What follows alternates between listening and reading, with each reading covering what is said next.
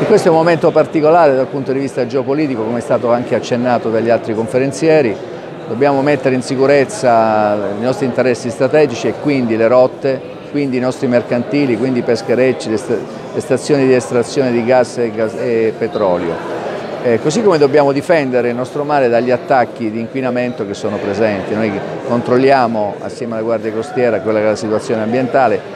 troviamo spesso di tutto in mezzo al mare e anche sotto il mare, perché noi abbiamo la capacità di andare anche sott'acqua a parecchi, a parecchi, metri di quota e purtroppo la plastica è presente anche lì, la, la, la plastica e la microplastica, così come, come dobbiamo ridurre l'impatto degli agenti inquinanti dei, dei combustibili, quindi è un'attività di educazione e di protezione di questo ambiente che di fatto per noi è un ambiente di ragione di vita, ma per l'Italia è fondamentale per la sua economia e la sua prosperità.